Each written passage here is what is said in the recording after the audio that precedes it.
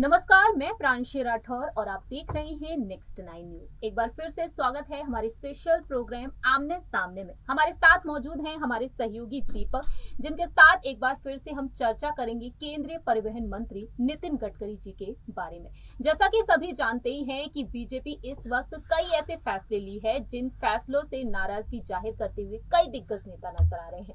लेकिन दूसरी ही तरफ़ बीजेपी कांग्रेस के निशाने पर बनी हुई है, आम आदमी पार्टी के निशाने पर बनी हुई है, और इस बीच बीजेपी को काफ़ी फ़ायदा भी हो रहा है, जिस तरीके से कांग्रेस पार्टी में इस वक्त इस्तीफे की लाइन लगी हुई है, और कहीं ना कहीं उनमें से कई नेता बीजेपी की तरफ़ रुख करना पसंद कर रहे हैं। लेकिन सवाल यहाँ पर खड़े होते हुए नज़र आ रहे हैं नितिन गडकरी पर, जब संसदीय बोर्ड की बैठक बुलाई गई, उस बैठक में अहम फैसले लिए गए और नितिन गडकरी को बाहर का रास्ता दिखा दिया गया। अब सवाल ये खड़े हो रहे हैं कि आखिरकार नितिन गडकरी को कौन सा बड़ा पद दिया जाएगा? हालाँकि अपने पद पर वह आज भी है, लेकिन संसदीय बोर्ड से बाहर होने के बाद अब उन्हें कौन सी बड़ी ज़िम्मेदारी दी जाएगी? या फिर इससे हटकर यहाँ पर देखा जाए तो सवाल ये खड़े होते हैं कि जो अंदरूनी सूत्रों के मुताबिक दावे किए गए हैं कि आरएसएस संघ के सलाह पर बीजेपी ने यह फैसला लिया। आखिरकार क्या वाकई में आरएसएस संघ के कहने पर ही यहाँ पर नितिन गडकरी को बाहर किया गया है? आरएसएस के बेहद करीब रहे नितिन गडकरी, लेकिन उन्होंने यहाँ पर उनका बचाव क्यों नहीं किया? इसी मुद्दे पर चर्चा करेंगे।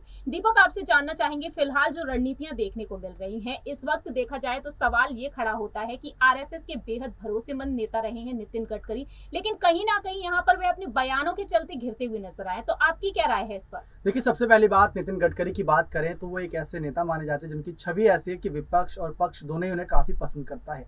बात जब कांग्रेस पार्टी की आई थी, उन्होंने कांग्रेस पार्टी में जाने साफ़ इनकार कर दिया था, कुछ तर्क देते हुए।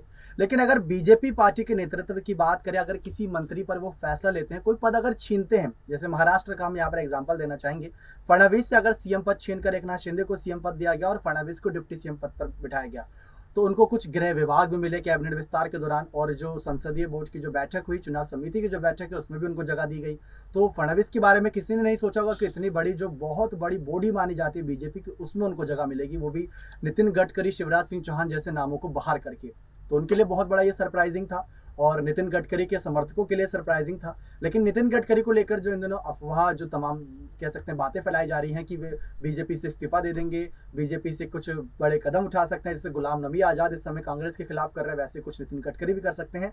तो अभी तक ऐसी स्थिति नहीं बन। रही नितिन गडकरी अभी भी अपने कामों को लेकर, अपने वादों को लेकर अडिग है और जनता के प्रति समाज सेवा दिखा रहे हैं। जैसे कि हमने पहले भी कई बार बताया है कि नितिन गडकरी किस वजह से ज़्यादा चर्चाओं में रहते हैं। समाज सेवा की वजह से। क्यों? क्योंकि राजनीति वो सिर्फ़ कह सकते हैं पंद्रह से बीस परसेंट करते हैं अपने काम के ज़रिए। क्योंकि कई सारे राजनेता ऐसे होते हैं जो काम करते हैं सिर्फ़ जनता को लुभाने के लिए वादे पूरे करने के लिए ताकि जनता उनको दोबारा से वोट दे। लेकिन नितिन गडकरी के साथ ऐसा कुछ नहीं वो अपने काम करते हैं जनता उन्हीं से खुश होती है उनको दोबारा वापस उसी पद पर ले आती है और बीजेपी उनको बड़े पद भी दे देती है। इतनी बड़ी इतनी बड़ी बैठक में था अभी तक लेकिन इसमें देखा जाए दीपक कहीं ना कहीं ये बात भी उभरती हुई नज़र आ रही है की आर संघ के वह बेहद करीब तो रहे लेकिन कहीं ना कहीं जो नितिन गडकरी के जो बयान रहे हैं वो नाराज़गी ज़ाहिर करने वाले रहे हैं पार्टी के लिए। क्योंकि कई बार उन्होंने ऐसे अहम फैसले लिए हैं और पार्टी का जो रूल रहा है वो ये रहा है कि यहाँ पर पार्टी से हटकर, उस लाइन से हटकर वह अपने बयान देते हुए नज़र आते हैं और जो पार्टी के यहाँ पर खिलाफ खड़े होते हुए दिखाई देते हैं। तो ऐसे में आपको क्या लगता है कि आरएसएस का यहाँ पर ये फैसला इसीलिए लिया गया है कि कहीं ना कहीं वह पार्टी की लाइन से हटते हुए बयानबाजी करते हैं? एक तरफ़ वह कांग्रेस को लेकर भी ये बात कह चुके हैं कि विपक्ष को मज़बूत होना चाहिए।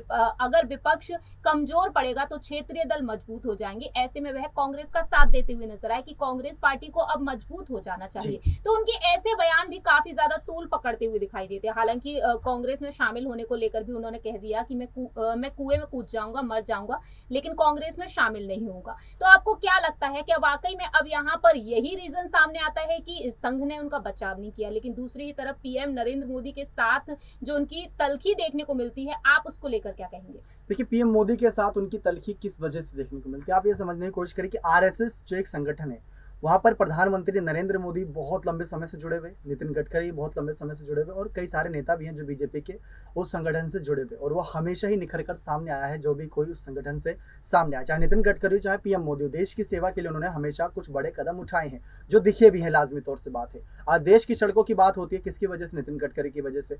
विदेश में अगर कोई घटना घटती है, किसी दो देशों में आपस में झड़प होती है, चर्चा किसकी होती है? पीएम मोदी की कि वो बचाव करेंगे। तो ये सारी वजह है कि इन्होंने भले ही जमीनी स्तर पर काम किया, भारत देश के लिए, लेकिन चर्चाएँ विदेशों तक होती हैं इनकी। अब इसी वजह से यहाँ पर पीएम मोदी के साथ जो इनके लेकर बातें बताई जाती हैं, वो इस वजह से आती है क्योंकि इस समय जो बीजेपी जिस स्टेज पर खड़ी है, वहाँ पर वो एक अकेली पार्टी है बीजेपी। एनडीए के साथ जो अच्छा खासा उनका चलता है, वो बहुत सही है। लेकिन जो कांग्रेस और बाकी विपक्षी खेमा है, वो एकजुट हो रहा धीरे धीरे तो बीजेपी को राजनीति करनी पड़ रही है। वरना इससे पहले दो बार पीएम पद की शपथ ले चुके हैं, लेकिन क्या आपने इतनी राजनीति कभी देखी? नहीं। विकास के मुद्दे पर, भ्रष्टाचार के मुद्दे पर और देश की तरक्की के मुद्दे पर ही बात होती थी। उन्हीं को ध्यान में रखते हुए योजनाएँ लागू की जाती थी। लेकिन कई दिनों से आप खुद देख रहे हैं, जब से कोविड काल आया, तब से राजनीति करनी पड़ रही क्योंकि वो आवश्यक है। अगर सरकार में बने रहेंगे, तभी तो सरकार जनता के लिए सेवा कर पाएगी। इसी वजह से नितिन गडकरी और पीएम मोदी संघ यहाँ पर सभी मिलकर राजनीति थोड़ा बहुत करते ज़्यादा नज़र आ रहे हैं और काम भी बहुत सही हो रहा है। लेकिन बात आती है नितिन गडकरी की। तो नितिन गडकरी को बाहर, जैसे अगर किसी को बाहर किया गया है तो उसकी वजह भी आनी चाहिए थी साम तो जनता वही वजह तलाश रही है जिस, जो अभी तक शायद नहीं मिली कि किन वजहों से। सब यही कह रहे हैं कि इनका बड़बोलापन था, ये कुछ भी बातें कह जाते थे। लेकिन जैसा कि आपको बताया, ये गांधी के जो विचार थे, उनको फॉलो करते थे। भले ही कांग्रेस पार्टी से जुड़े हों कई सारे ऐसे नाम, लेकिन उनके विचारों को फॉलो करते थे, समाज सेवा को बढ़ावा देते थे। और इसीलिए अब वही जनता जिनको मतलब इतना प्यार दिया नितिन गडकरी ने, वही जनता अपना प्यार लुटा रही है और वो उनके समर्थन में खड़ी है।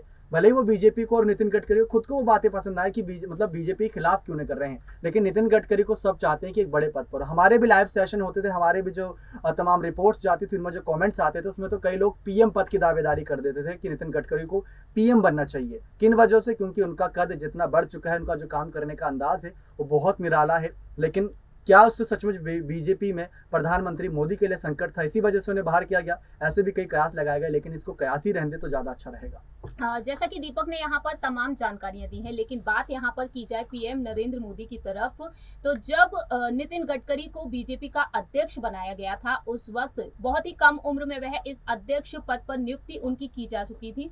लेकिन उस वक्त जब नरेंद्र मोदी दिल्ली तक नहीं पहुँचे थे, उन्हें बधाई देने के लिए भी कयास ये भी लगाए गए कि कहीं ना कहीं दोनों के बीच नाराज़गी है। लेकिन इसके बाद देखने को मिला कि मुंबई, महाराष्ट्र पहुंचकर उन्होंने जब संजय जोशी के इस्तीफे की मांग की थी और उस दौरान भी यहाँ पर यही नज़ारा देखने को मिला कि कहीं ना कहीं यहाँ पर तलखी देखने को मिल सकती है दोनों के रिश्तों के बीच।